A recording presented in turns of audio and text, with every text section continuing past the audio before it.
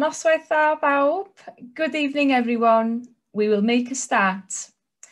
Before we start, I have written on the chat feature already that live captioning is available tonight.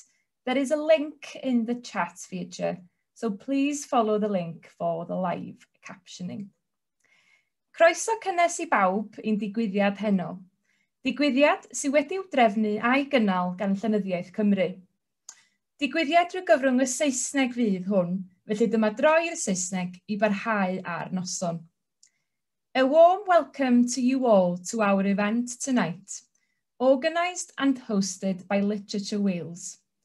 This event is one of many organised as part of our new Representing Wales programme aimed to develop the craft and careers of writers of colour in Wales. Most of our events are closed events organised for our group of 12 writers only. Since its launch in April, the Representing Wales writers have taken part in a poetry masterclass and have received workshops on the publishing industry, they have been offering critique on each other's work in our monthly writing rooms. They have been paired with a mentor for the year, and they have met several published writers and industry experts to discuss their journeys. When we were consulting on the creation of this new programme, we made contact with several sister programmes across the UK who had experience in working with underrepresented writers. One of these programmes were the Ledbury Poetry Critics programme for critics of colour. We were very grateful for the guidance and advice of one of the founders of the Ledbury programme, Professor Sandeep Parmar, who came to be the chair of our application panel for the Representing Wales programme, and we are delighted that she is here tonight. The Ledbury programme wanted to highlight literary communities beyond England, and that is why we are here tonight to give a brief glimpse of some of our literary communities here in Wales. We could organise hundreds of similar events highlighting the incredible work being done by our grassroots communities across Wales, but we are starting with tonight's brilliant panel who, who you will meet very soon. Five individuals who are already working hard to transform the country's literary culture – into one that is truly reflective of Wales's diverse communities. Before I hand over to the chair of the panel tonight, Marvin Thompson, I'd like to invite Professor Sandeep Parmar to say a word and Zoe Brigley from Poetry Wales, both of whom are partners on this event tonight.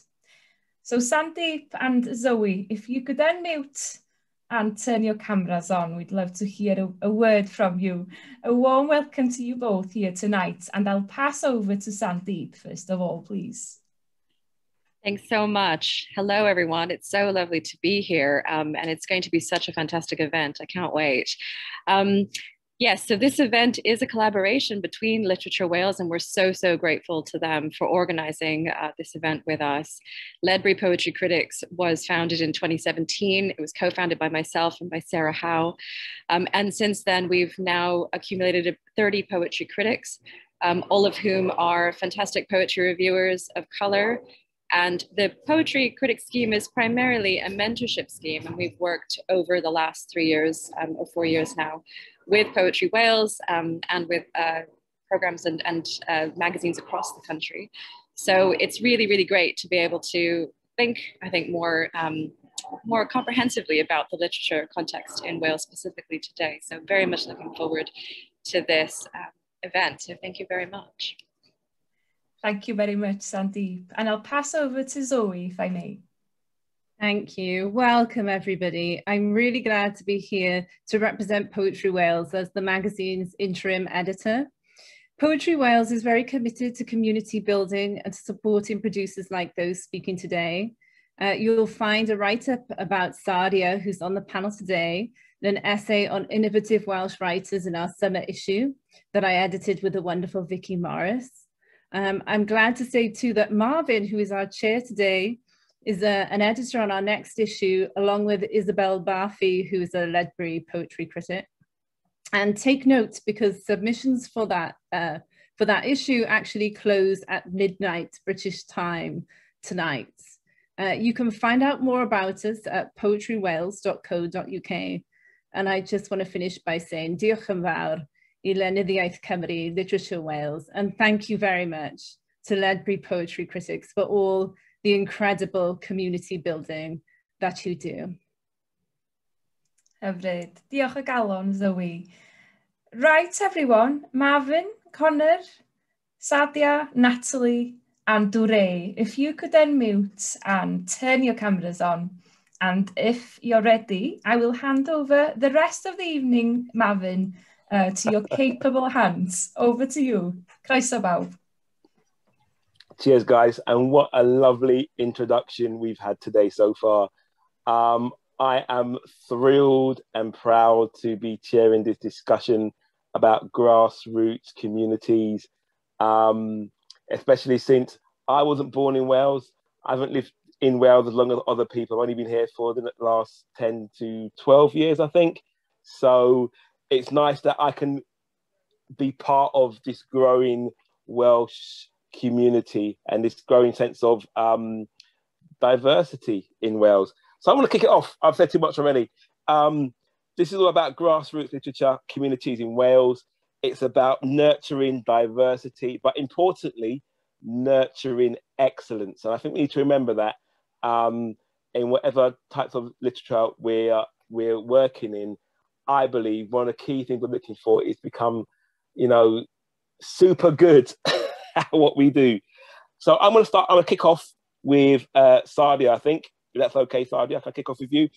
Right. So welcome. welcome one and all. Sadia, tell us, what are your experiences of working with um, within a kind of community of writers, a, lit- a literary community? Um, tell us a little bit about the roles you've, you've had and why you felt you needed to um, be part of those communities. Yeah, so um, thank you, Marvin, for the introduction. Um, yeah, so the first um, lit community I kind of joined was actually where I'm coming from, which Durre um, co-founded, um, which was a open mic kind of collective, or still is, an open mic collective for underrepresented writers, but everyone's welcome to that.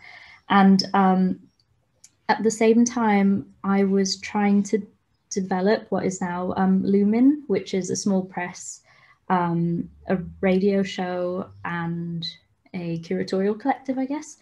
And kind of based on my experiences of working with or, or being part of a community like the one um, that Durre helped set up, um, we kind of developed a model of an open collective, which is anyone that we work with, anyone that we collaborate with, is kind of they get a decision in what how everything is made and whether they want to kind of identify as being part of this wider collective and kind of kind of being aware of people's commitments um, to kind of have to dip in and out of some like creative activity and yeah it's it really kind of being in lit communities like that and kind of forming our own has really helped us kind of find a grounding in the Welsh lit, lit, scene, which I'm sure it's like this everywhere, but it's quite hard to access when you're kind of considered the underrepresented group.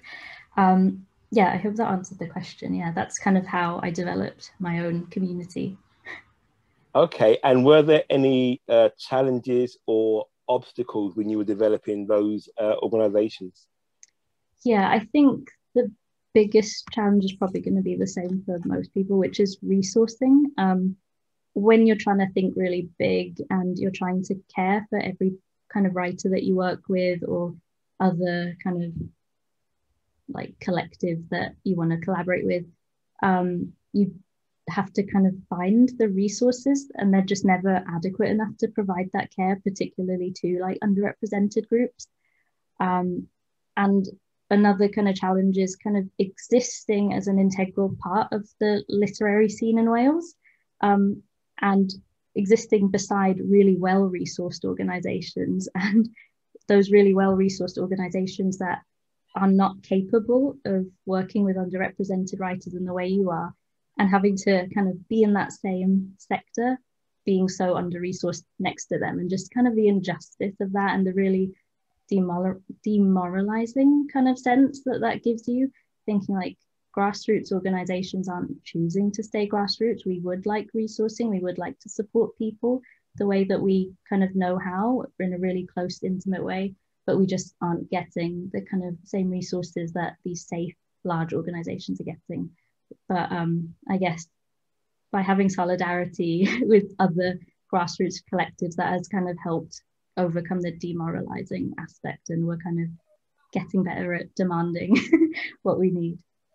So you're saying that sometimes it can be quite demoralizing seeing the um, inequalities in different organizations but working with other grassroots organizations can have a sense of um, comradeship. Yeah exactly. Brilliant. Oh excellent. Right Durre, can you I, I, I want to ask you the same question. Um, what is your experiences of uh, working in, within grassroots literature communities? Um, and what were your aims when you first started out in these communities? Um, yeah, so my experiences working with grassroots communities was setting up where I'm coming from. Um, we set it up back in 2017. Um, at the time, I was quite new to. I think I just I'd finished my masters in 2015, and then the two years after, I was kind of putting myself out there as a writer, um, as a person of colour in the literary scene in Wales. Um, and I was attending a lot of open mic nights, and I was noticing that I was perhaps one of, or if not a couple of the only people of colour in the room. Um, mm. And that really bothered me because I was kind of like, there must be more. um, so I wanted to set up um, an open mic night, monthly open mic night. That was a space just for people of color. Um, initially, that's how we started to just come and kind of share their work.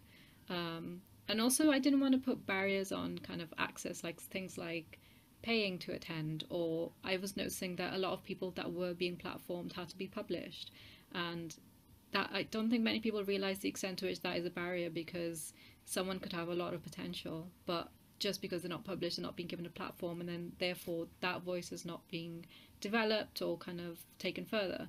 So yeah we wanted to do something that just undid everything that i was seeing cool. in the welsh art scene. Um, but i forgot the second half of your question sorry. Uh, i guess the second half of the question was um, and first of all fabulous to hear from you. Um, what were your aims when you first came out? And, and i think you uh, kind of covered that really. Yeah, so the aims was just to have a really safe space where people could share their work, create a community, um, have access to like networks as well, because I was aware that I was part of networks that other people weren't, and I just wanted to create a space where there could also be network sharing and collaboration um, between grassroots communities and the more established organizations and bridging that gap. Brilliant. So do you think it's important for grassroots communities to work with bigger, perhaps public fund, publicly funded organisations? Have you found that helpful, or have you found it a hindrance? I think it's important for public funded organizations to work with grassroots communities, not the other way around. Um, right. I mean, yeah, public funded organizations do give, you know, they have resources that grassroots communities and upcoming artists can tap into, and they're very important. But I also feel like there's just so much to learn on a grassroots level that people overlook a lot of the time. Um, but yeah, I kind of see that it should be a collaboration. And also, I think the one thing that has been a learning experience for me in setting where I'm coming from is the level of autonomy. Um, because, yeah, I feel like sometimes when grassroots organizations work with larger organizations, they lose that level of autonomy, and that can that can definitely be a hindrance and take away the essence of what you're trying to do. Um, but yeah, for me, it's been a learning experience of trying to learn where to make that compromise and where not to. But yeah. Brilliant. Right. So we're, we're still doing a round of introductions, really. Uh, I was going to go to Connor next, but Connor, tonight the blokes go last, I'm afraid. so we're going to go to Natalie. Natalie, um, I know you work more within the publishing industry, um, but I would love to hear your um, experiences of working in grassroots literary communities within Wales. I do believe you've got some experience of working in the wider British Isles, uh, particularly in London. So if you could bring that into the answer as well, that'd be wonderful. What your experiences of working in kind of literary communities? Within those communities, what have your roles been and what have your aims been? Uh, well, uh, I probably could have been more grassroots because um, as it has transpired over the last 18 months, since I became a literary agent, I've discovered I'm the only literary agent um, operating and working in Wales. Um, and I should preface everything that I say by saying that I'm also Welsh. Um, so I'm from Newport. Um, I haven't actually left this room in about 18 months. Uh, to be honest, I've set myself up here, um, which, you know, has been, yeah, it's been an incredible 18 months, bridging, I think, um, as you say, Marvin, the London uh, publishing world. So um, I spent 20 odd years basically working on, on you know, the publishing um, editorial uh, side of things. And I worked for three of the big um, publishing houses. So Penguin Random House, it's my first job straight after, um, straight out of university.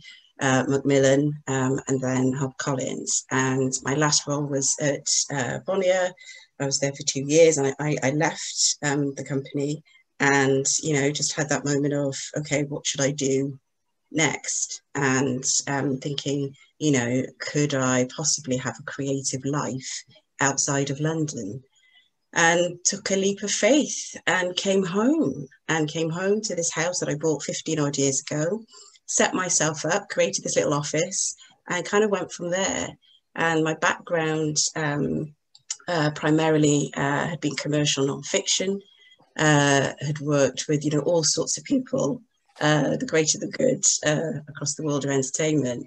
And I guess um, for me, coming home and doing this work here, uh, the real kind of drive, I think, um, and certainly where, you know, I see the conversation going, is making, you know, those connections to the London publishing world um, and the bubble, as we call it, uh, you know, that much stronger and um, I'd like to see more two-way traffic. if I'm honest, I was absolutely staggered uh, to find out that I'm the only literary agent operating here. Um, was a recent profile piece in the bookseller that ran, um, and Literature Wales actually confirmed that. I wasn't aware of it. You know, I set myself up here completely thinking, well, you know, maybe I could make this work, um, and wanting to have that flexibility. Um, I just had my daughter as well and you know wanted to be you know closer to my family to my friends and you know a community. And i didn't feel that i necessarily had that as a family um, in london. And you know i'd spent all those years working as i say you know on the corporate publishing side thinking and feeling that uh, a creative life in books wasn't possible outside of london. It was just an impossibility and um, I think that's the, that's the key driver for me now, um, being here. So um, you know, there, there's some incredible work that's going on. There's fantastic talent here. There are a lot of small presses, and obviously the Welsh language, um, uh, you know, publishing side of things too. But it still staggers me that, and maybe this is because of my background, you know, being uh, uh, a corporate beast, if you like, um, that uh, we don't have a HarperCollins in Cardiff. We don't have, you know, a Penguin when there are other, you know, big media um, organisations who have a presence in Wales. And so a lot of the lobbying that I'm doing is about that. And it's not, you know, um, to say uh, it's to the detriment or to push aside the existing work. It's to complement it. It's to bring the scale and the reach that these organizations have. Because ultimately, as writers, um, you want your work to be read and to be read by people all over the world. And I think one of the things that um, I have taken from my publishing background and working with people across the world of entertainment is that sense of being able to reach people around the world at any minute, at any given time of the day through social media. And I think that's a really exciting opportunity for us in Wales, actually, to think about our publishing, not so much locally, but globally. And um, and as I say, with reach and scale. So it's about taking the talent that exists here and platforming it. And so that's a you know essentially that's the work that I'm focusing on um, and trying to do. So as I say, I'd like to see more two-way traffic between uh, Wales and all the work that we're doing here and London. Um, and it's starting to happen. You know, offices are opening um, outside of London by the major houses that just haven't come here yet, which we're working fantastic. on. right, brilliant. Oh, Natalie. So it was so good to hear um, your experiences of working in that kind of the corporate beast that is London. I used to live there for a good 30 years, and how you've transitioned to Wales and set yourself up in Wales. Connor, I want to hear from you now. Um, what are your experiences of uh, working with literary communities in Wales? Um, and within those communities, what was the kind of um, the moment when you thought there's some there, there needs to be a change, there needs to be something that I can I can drive and push through? Yo, hey, um, I'm going to flip that then. So I'm going to start with the second question first because it leads more better in. So during COVID, Literature Wales gave me so my light bulb moment. Literature Wales gave me a commission, a COVID commission, and I created a uh, interdisciplinary like online installation called 27 and it was like an exploration of kind of my identity and my life um, up to the age of 27 you know uh, exploring different themes different processes and and it was filled with like poetry spoken word letters essays um, the whole shebang you know um, I wrote a letter to Jamaica. I pictured her as a woman, and I wrote a letter to her, like apologizing because I've never step foot on it back. You know, I wrote a letter to my younger self. There was poems from where I grew up, and I made I, I partnered this then with um, artists. So I gave like little mini commissions of like only like twenty five pound, and um, I numbered my my work. So I wrote and wrote for days, and and I had about like six thousand words basically in about twenty eight pieces and I numbered them and I, I, I, asked the artist to pick a number between like one and 12. And I gave them random pieces and I said, like, read my words and create something um, on like how it makes you feel. So they went away, then they read it and they created all these like images and they, yeah, some were like just doodles, some were um, like online digital pieces and others were like videos, you know. Um, Thank you very much, Darren. And um, from that, then I obviously posted it. Um, it went live, and then what I found because I, I just thought, oh, it's you know, it's just me writing some words about like mm-hmm. my experience, and then 27 went live, and through because we created like a whole website behind this installation, you know, we could look at the analytics, and then we were seeing that like people in like Canada and France and Norway were like reading 27. And I was like, this is mad because like Natalie, I'm, I'm, I'm a Newport boy, you know? So I'm just a little kid from a Kensal state Newport. And I'm like, what? There's people in like America, they're reading my words. This is crazy. So I think for me, that was the light bulb moment where I was like, wow, okay. So like, actually, there's something really interesting um, about opening up. Like poetry and words and, and storytelling you know? Like it's it's a way that connects us all i think you know because words are so powerful. And when you read someone else's words you feel a, a, a little less alone in the world you know? You feel heard mm-hmm. sometimes. And that feeling in itself is the most powerful feeling i think that you can ever well up until this point. Because i haven't had kids so you know? Like for me that feeling in itself so far in my life is like one of the most powerful feelings ever. So that's where the light bulb moment was of like, ah, okay, this is this power in our words. So then um, later on in the year, last year, I won a Jerwood bursary, um, a Jerwood Live Work Fund, and I wow. used mm-hmm. that money basically to. Well, it was for my development. So basically, Jerwood, Esmée Fairbairn, and other charitable organisations all banded together to kind of set up um, yeah the live work fund which was to sustain 33 artists in britain um, so they don't get lost to covid you know? Mm-hmm. and i was one of the 33 um, and part of my and part of the money was for my development so i don't get lost. But then i was thinking well i remember watching Jade Anouka's ted talk uh, at peckham and she she spoke about how like whenever you get a seat at the table pull up a stool so someone else can sit at that table with you and that's always stuck with me. You know, it's really powerful. And I thought, well, why I've got a really cool opportunity here to allow other people to kind of revel in my development. So why not? So I kind of then set up Loyalty, which is a, a black collective of uh, multidisciplinary artists in Wales, um, with the emphasis just being on development. Like there's no end goal, there's no like sharing of like skills to audience members. It's just development.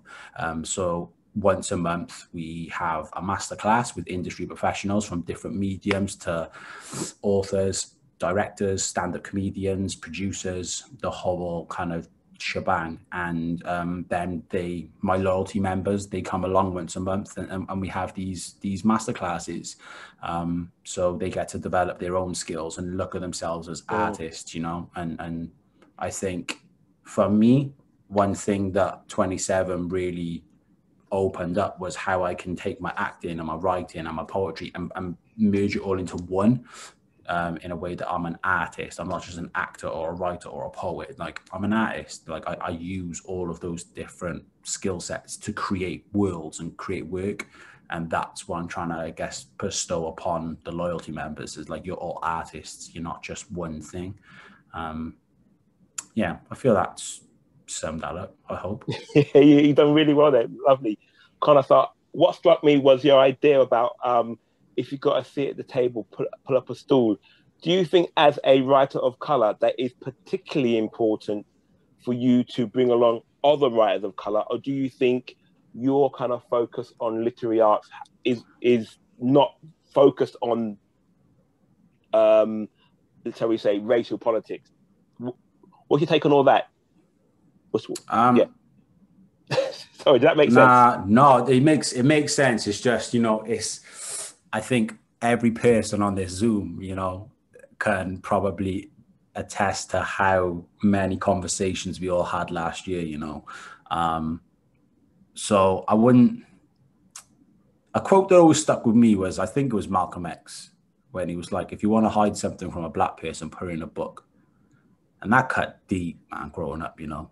So that's why I'm always like, books are so powerful, whether it's fiction, non-fiction poetry, you know, words, people's stories. Like it just, like I said earlier, they're so powerful because they they they take us outside of our own experience and they allow mm-hmm. us to mm-hmm. experience someone else's walk of life. And and I always say this is a quote, original quote from Connor, but it's like if you can walk a mile in someone else's shoes, you have a bigger capacity for empathy. And if we can empathize with someone, then we can understand someone. And and and I think words and, and literary literacy, um, they help towards that. You know, they they they give us a bigger capacity for empathy. So I'm always about developing talent, but I think especially in Wales, talent of color is so underrepresented that even as an uh, like I started as an actor, and you know, like I just wasn't seeing my experience as a mixed race council estate kid from Newport. I wasn't seeing my experience represented on stage. And then when I look at it deeper, you know, I never really saw my experience represented in books, you know. I'm a big Harry Potter fan. I love Harry Potter. Harry Potter in mixed race, you know. So it's like even though I loved like Harry Potter books growing up, you know, I never saw myself. And I always remember when they had an open call like for um, when they were making the movies, and I was like, it was that point there when when it hit me, and I was just like, ah, I can't audition for that because Harry Potter's not me, you know? So it's then about creating the stories where young mixed race kids, young black kids, young black British children and black Welsh children can pick up books and read them and be like, Mum, that's me. I can play that, or, or this, this story represents me, you know? So mm-hmm. yeah, that's why for me it's so important. I'm going to shut this. I feel like I'm talking for ages. Someone else, lovely. please, you know? Thank you. So, you know what? You've led me into, a, I'm, I'm going to go slightly off piece a little bit. Um, I've got a controversial point of view here please challenge me on this. It turns out from national statistics that um, Wales is only 5.2% ethnic minorities, if you want to use that term. Um, it seems to me it's 5.2% of the books in Wales are by ethnic minorities, etc. Maybe the representation in Wales is where it should be statistically. Um, I want to say, devil's advocate, it is. Sadia, challenge me on that, please. 5.2%. That's all we need. If you go into uh, Waterstones in in uh, in Cardiff and you see 5.2% of the books are by Welsh writers of colour or writers of colour, we're good to go, satisfied. We don't need any of these initiatives, do we? Uh, it's just not representative of the global majority. oh, okay. uh, I mean, questions like that are they are very like devil's advocate questions because it's it's not like statistics like that aren't representative of the kind of prejudice that exists either. Um, there isn't like 5.2% statistics for like racial hatred. It's like way, way, way more than that. So like, I don't. I think that I think, and then obviously like the kind of histories of like colonialism in spe- specifically Wales, but also Britain as, as wider.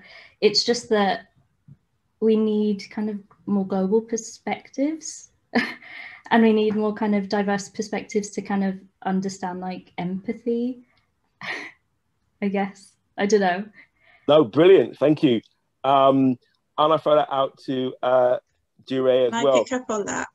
Sorry, Mark. Can I pick up on that? Yeah, yeah, yeah. Just to well, both or all three of you, I guess. Um, so Connor, your point about Harry Potter. Um, one of um, uh, my clients um, is Sir Lenny Henry, and he's writing um, for the first time um, middle grade fiction for kids, and couldn't be more excited about this. So, you know, my daughter's book at bedtime, the book's called The Boy with Wings. And one of the things, you know, a lot of the conversations about that happened in this room on a Zoom call uh, with my thinking, you know, can I even work here? You know, and so the brilliant thing I think that's happened over the last, you know, 18 months, obviously it's been incredibly traumatic for lots and lots of people, but one of the uh, positive things that have come out of, you know, um, conversations is that, um, you know, the sense that we can work almost anywhere and you know we can almost kind of you know reach each other and be connected with one another you know that much faster and more easily. And this point about empathy i think is an incredibly important one and what books can do what books can do over and above. And i you know probably say this to my dying breath over and above you know film or tv or any other form of media because books there's a permanence to books. There's a permanence to the written word. You know you um, are immersed in a world in someone else's imagination and it can take you places. And you know the skills that you get from reading as opposed to passively watching you know whether it's a video game or film or tv or whatever um, those skills those life skills that you get from from books and from reading are absolutely invaluable and a lot of the work that we're doing at the moment, I'm hoping within the industry and, you know, the same grassroots, is about building that sense of empathy and understanding between, you know, each other because we need it. The last 18 months have been such, you know, a shock, I think, on the on uh, the race front that, you know, we're having conversations that we've just not had in this country before certainly not in my lifetime or any of our lifetimes. So whether you know it's Black Lives Matter, then the Meghan Markle interview, and then even just last week, and what it's really thrown up is this sense of do we even know who we are as Britons? Mm. Yeah, you know, Brilliant. and yeah, I think being here, being black, um, or you know, mixed background, or any you know non-white um, background, we really do have a lot of work uh, to do uh, in order for our voices to be heard, to be seen, to be recognized, uh, for people to understand who we are, that we even live here. I mean, I think, you know, what happened last week, massively, hugely triggering and traumatic on, you know, the point of uh, this sense of once again, you know, do I belong here? One of my, again, another client, David Harewood's book, um, to David Harewood, the actor, um, had a psychotic breakdown when he was 23. And again, it's one of the um, uh, first deals that I did, you know, when I set myself up as an agent. And his book is called Maybe I Don't Belong Here. And I can't quite believe that we're still in this position. So, you know, when I was growing up in Newport in the 80s, you know, there was National Front around, there was, you know, the graffiti and all the rest of it. And as a little black girl, it's horrible growing up in that atmosphere, you know, that sense of anything could kick off at any time, you know. Yeah. and then, you know, fast forward yeah. a couple of years, you see what happens with Stephen, yeah, with Stephen Lawrence, and then seeing what happened last week, that, you know, it's it's it's like a cauldron, you know, it's all kind of bubbling under the surface. And that's what I think we all have to do, regardless of your race. We all have to put our backs into this work to figure out a way that we're going to live together. Live together. And, you know, side by side, you know, yeah, you know, happily. Yeah. yeah. so, yeah. Thank you, Natalie. Oh, brilliant. Yeah, so I agree. I mean, I agree that actually last week, I'm getting talking about the, the football when free black players or black or Jew heritage players miss their penalty. I mean, come on, guys. That's what that's what England is is, is kind of known for. This is what Absolutely. we do. we we miss penalties. We cry a bit. We get on. We don't need the racism. However, I want to ask uh, Durre, in terms of other countries, what do you think um, grassroots communities, literature communities in Wales could learn from other countries? Um, I kind of feel like Sadia might be a better, considering she's recently done an international residency, so she might be a better person for that um, question. Um, I've heard very little, kind of only recently have I started to do international collaborations, and that's more mm-hmm. individually mm-hmm. as an artist um, rather than from my where I'm coming from hat on. Um, and I think what strikes me is, yeah, I think what you were mentioning earlier about the level of development um, that happens, and also um, mm-hmm. the level of grassroots communities that do exist as well. I think sometimes um, we fall into this mindset, and maybe it's changing over time, but like you can, there's only sometimes space for one. Um, and I think that speaks right. to perhaps the wider industry and how the industry functions is like, we're, as people of color, we're often pitted against each other um, by, you know, how the how everything works, and like there's only a certain amount of space, and internationally, I feel like that's perhaps not the case, but again, I feel like that's quite a broad brush that I'm tarring like international collectives with. Um, but I wanted to kind of go back to what you said about um, the 5% representation. Go for it. um, so if I heard right, did you say that there's people of ethnic minority low to use in Wales? In Wales, they're only about 5%. 5.2%. And that's what that's what Google said. It might be five point four now. You know. and uh, did you say the amount of books written by? I guess what I'm. I guess one argument would be if you want true representation of a country in terms of literature, you could literally do it on a mathematical basis. Ninety-five percent Welsh white, five percent Welsh not white, if you like. That's not how I said. I would do it, but that's a that's a challenging question. I'm here to challenge you.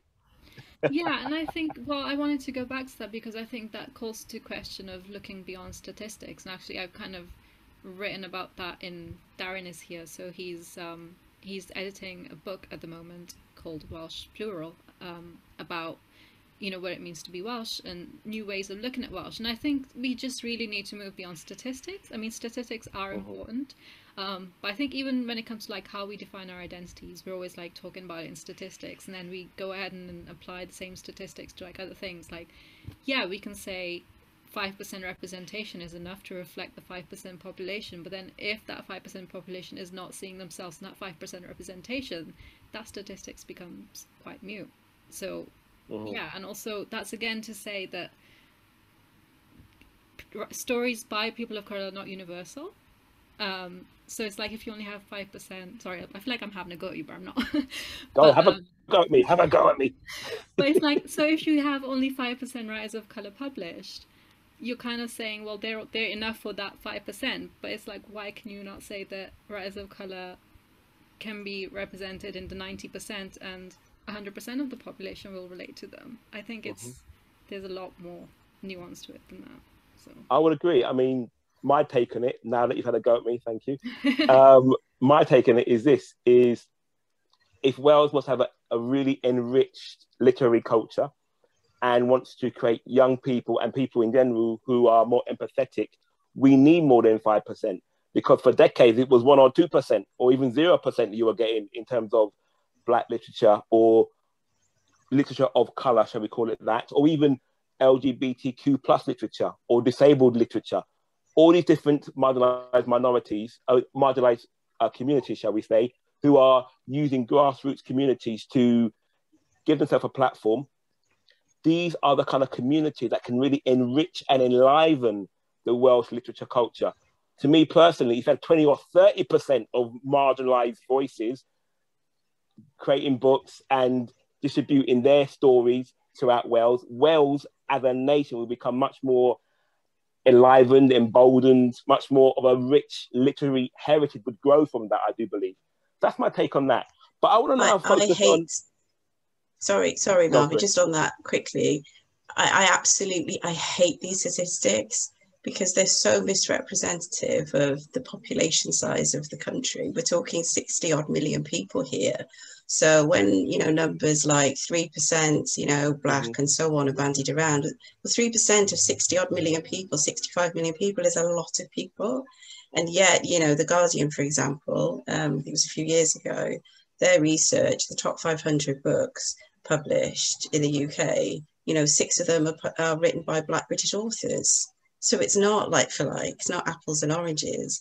And, you know, to come back to the point about social media, we're living in a, a you know, we have a global economy. Mm-hmm. We're connected to everyone, everywhere. So this sense of, you know, um, local and local thinking, mm-hmm. I, I just think it's, it's, we're not, we're not fit for purpose in terms of, you know, where we are in the world and our place and sense of the world. And I think of, you know, um, my daughter, and she's six, and what she's consuming on YouTube and Netflix and everything else. You know, she's certainly not thinking, you know, I'm in Wales and only Wales, and I should only be reading Welsh authors. Do you know what I mean? And I'm yeah, a little black I, girl here. Yeah. That's not. She's not. They're not the kid. They're not thinking that way at all. You know, the biggest yeah. selling um, most popular band at the moment is um, is BTS, and they they sing in Korean. So do you know what I mean? I think it's a bit mm-hmm. of a mm-hmm. misnomer, and I, I, would urge us to not go down that route. I would I would I would agree with you there, and I would and I would also I'd also want to now flip flip the conversation to the future.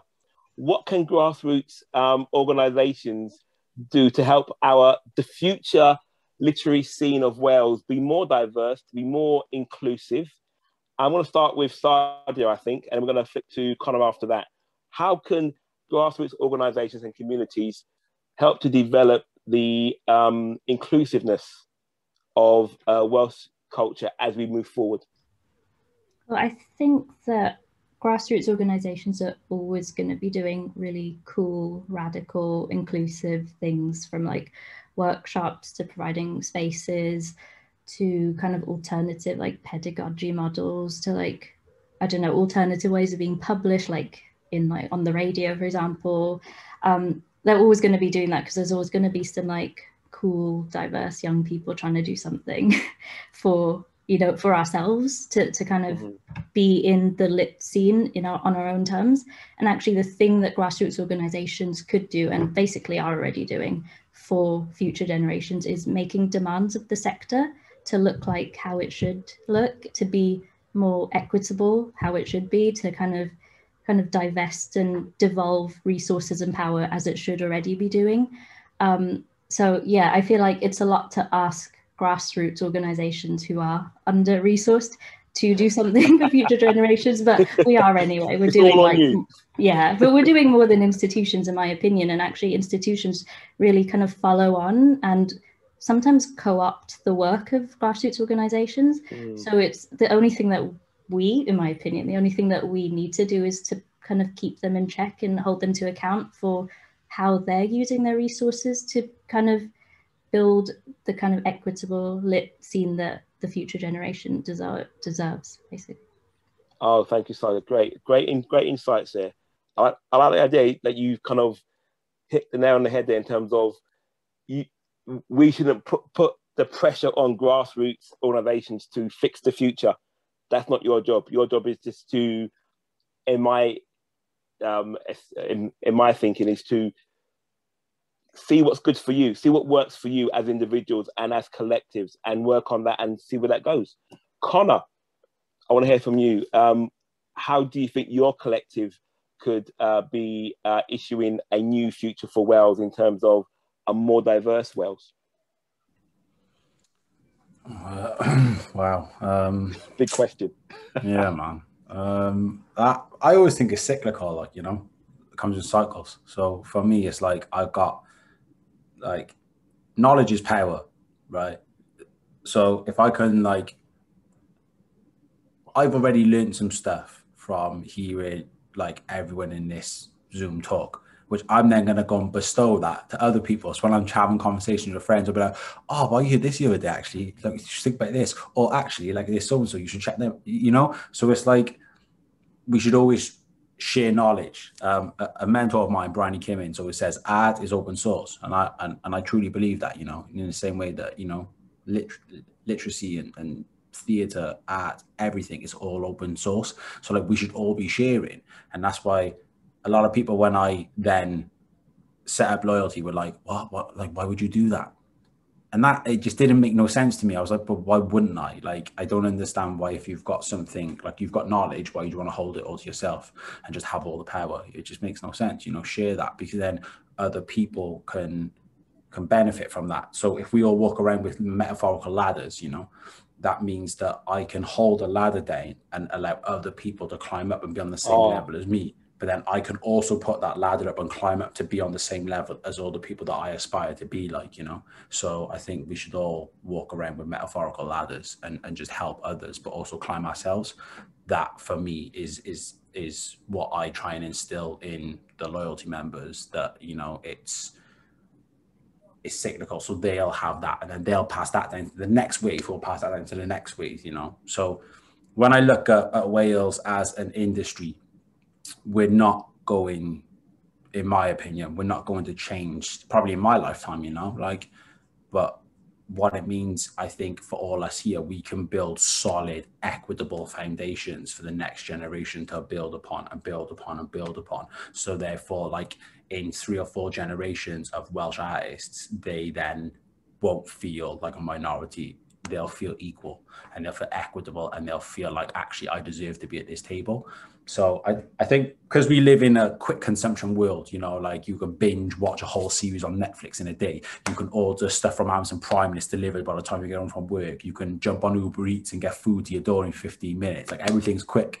And people always think, oh, well, you know, this institutional like racism within the arts and within literacy in Wales is going to just go away if we just chuck some money at it or if we just like if we just invest in this and it's like no it doesn't work like that. There's a reason why all these grassroots organizations are thriving because we've taken our time. We're not the first to do it but we're doing it right. Mm, so mm. always strive don't mm. strive to be first. Strive to get it right because if you get it right you leave a lasting legacy and then it's it's justified for i think you know like time further on like for years later it'll always be remembered instead of being oh well, the first people to do that which is yeah, it's great at that moment in time, but it's not exactly great then if like you know the the grassroots organization has folded two years down the line. Whereas if you take your time, you get it right, you can sustain. It's like sustainability. So I think that it's a really long-winded answer, so I apologize. But yeah, I think if we sustain our kind of grassroots thinking and partner that with the big organizations, because I agree with Sadi, you know, like it shouldn't be down to us because you've got like public funded organizations out there, which I'm really blessed with loyalty that, you know, I've had so much support from public funded organizations. Um, which has helped this first year of loyalty's iteration, you know, be thriving and bumping. But I think collaboration and sustainability are the two keys. If, if we can collaborate, but I don't think it should be us as grassroots always going to, you know, the big organizations, please help us. Why aren't they coming to us and being like, actually, you guys are doing it right. How can we help you? And I think it's that mm. change, that shift of power then, you know, um, mm. and that's not to like, you know, badmouth any of the organizations that help me because they're amazing, you know, but I've, I've made it very abundantly clear. I was like, cool, like, this is like mine and you guys are there, and, and if I need you, I will come to you. But like, I've got it, and and and that's been amazing. They've given me that breathing space, but I know that they're there. So if if I do need them, I can, I can drop them an email or I can chat, and it's fine, you know. But I think that it's that shift of power that I think then is that that little tweak in, in the whole bubble of Wales, and then it's like ah now actually we're not being seen as like grassroots and lesser than these big organizations. We're all on a level playing field. And I think once that happens, then yeah, justified Brilliant. change will happen. I love I love the idea, Connor, of having metaphorical ladders that people can climb up. You can help them climb up. You can climb up yourself to reach other people. I love the idea of that sense of community of raising each other up. Um, I've really enjoyed this conversation. I want to go on for another hour and a half, but I know we can't all do that. so, have you got any questions from the audience? There is a question in the queue. There is a question. There is a question, isn't there? Thank you, Connor. It says, here's the question. What role did or do libraries play in our journeys? What can they do better to build communities? Uh, let's start with um, Durre. Do you want to take that one up? Um, yeah, um, I think libraries can play a huge role. Um, there's so much, I think, well, I mean, I'm thinking back pre-COVID times, but physical reading groups, even simple things as facilitating and offering space. Um, when Where I'm Coming From started, we actually struggled to find space. Um, I think even now libraries often charge for space, mm. um, which is baffling to me because libraries should be, you know, they're for everyone to access. Um, growing up, like I spent the majority of my childhood in a library, um, and you know, like I think which is which can be the same that can be said for everyone here. Um, but I think libraries are kind of like no different to any other organization. Um, I mean, there are different in any other ways, but I think they it's just about collaboration, offering space, creating initiatives with grassroots communities, and be like, well, what ideas do you have? How can we support? How can we provide free books to the communities or how can we kind of help you kind of get set up or things like that.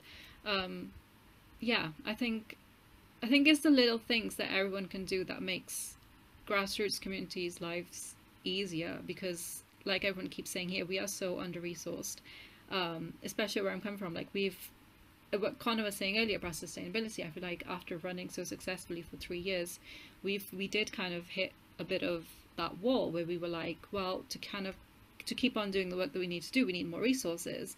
And if people kind of step in and be like, well, here's some resources to help you do what you do, instead of kind of being stuck in this bureaucratic systems of doing things where you must do one thing before you can do the next thing, and then you must be able to do that thing to do like it's just it's so much gatekeeping. Um, so yeah, but I mean, I do want to give shout out to Cardiff Libraries and Gordon. I'm not sure if he's here, but he he facilitated where I'm coming from one of their events um, at Cardiff Central Library that platformed a lot of writers that have then gone on to do more things. Um, so yeah, I think it's the same. Oh, thank you, Durre. Excellent. Now we're, we're coming towards the end of our glorious, enriching, enlivening discussion. So I want to get some closing, short closing statements from each of you um, about um, literary com communities, grassroots activism, where you see it heading, how it in, in um, emboldens you as a writer. Let's start with uh, Sadia. Um, I suppose in the future, what I'd like to see is a kind of complete switch of power and hierarchy from the institutions and the grassroots communities where it's no longer them, the institutions, trying to like kind of pay grassroots communities like basically pennies to engage audiences on behalf of them. And actually, we have the funding, we have autonomy of funding and the distribution of funding and resources. And we directly kind of engage the audiences that we can safely and caringly do so. Um, I'd also like to see kind of 10 new publishing houses in Wales and at least one of them to be led or at least have one person of colour who works there but led, mostly led, because right now I don't think um, it's really viable for people of colour to be published in Wales without coming across some sort of harm. Um, was that the question about like the future? it was a closing statement, and you give me a wonderful closing statement, Sadia. Thank you. Thank you. Uh, Natalie, any closing statements from you? Yeah, I mean, I think just picking up on what uh, Sadia just said, it's the the switch in hierarchy. It's it's popping the for me, it's popping the London bubble. Uh, you know, if the BBC are here and ITV are here and various other people, then HarperCollins should be here and Penguin should be here, and you know the talent is here. So it's ensuring that that pipeline, um, you know, of brilliant writers and creatives is met, and it's met substantially with with scale and reach.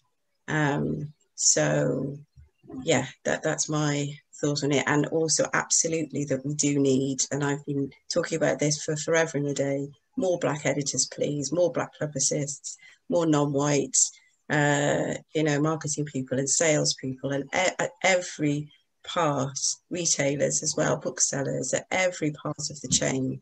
Um, we need all of it and we need it quite quickly. So yeah. Thank you. Thank you. Please. Lovely lovely getting that in that in that in-depth industry perspective. Thank you, Natalie. Connor, um, any closing statement? I mean, if we're doing shade data, I've got to go straight to Gavin Porter because he was the one that told me about that uh, ladder metaphor, you know, so I can't exactly take full credit for that one. Um, yeah, closing statement, I'd probably say, you know, take. I hate I hate using the term take risks because I don't ever see myself as a risk, you know, but I just see myself as as talent, you know, and you're investing in in my talent and you're investing in me. But I understand how a lot of people are like, oh, he hasn't really got that many years experience. Oh, it could be, it can be considered a risk. Oh, they don't know how to manage budgets that well. Oh, we can't give them this much. See, yeah, yeah, I can see the nods. But that's what I mean. See, so it's like take risks, you know, because um, yeah, okay, like I might fail, but I'm going to learn from that failure and come back better. But if I'm not given the opportunity, okay, if you don't take the risk and give me that opportunity, then how am I ever going to get the experience? But also, how am I ever going to learn that lesson? So I think, you know, take risks and, yeah, give opportunities. Brilliant. Thank you, Connor. Risk and opportunities. I like that. And um, Durre, to to to be the closing person, please. What would you like to say I Leave really us with something insightful.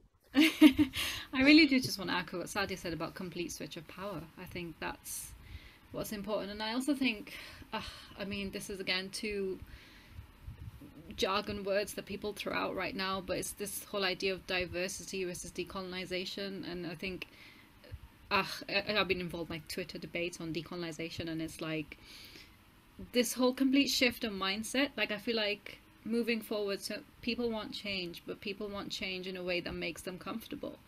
And mm-hmm. it's like sometimes change needs to be uncomfortable and uncomfortable doesn't necessarily mean bad. It just means you're you know you're questioning your privilege you're questioning things you've taken for granted to make space for more. And it's like making space for more doesn't compromise your space. And i think a lot mm. of people just really struggle to understand that. So everyone just wants to sprinkle diversity in and call it a day but it needs to go deeper than that. So it needs to go deeper than that. Thank you very much, Durre. Now I'm going to pass back to Literature Wales, who are going to close the show. Thank you so much, Marvin, for smoothly steering such an interesting discussion tonight. And to the four panellists, Durre, Connor, Natalie and Sadia for sharing your experiences and insights. Uh, you've given a lot uh, for us to think about in the, the industry, the literature and publishing industry and I know many of my colleagues are, are listening in and um, we will be uh, discussing tomorrow morning, I'm sure. Um, before we leave, can I thank you, uh, give my thanks rather to our partners again. So the Ledbury Poetry Critics Programme and Poetry Wales, and to Marina the Live Captioner as well, uh, and to our funders, the Arts Council of Wales for your support. Thank you everyone in the audience as well. Um, there are lovely comments in the chat. I'll be sure to save those and I will be sharing a recording of this uh, discussion with everyone who booked to come here tonight as well. Um, so do visit literaturewales.org for more information about our organisation and we hope to see you all very soon. Have a nice evening, everyone.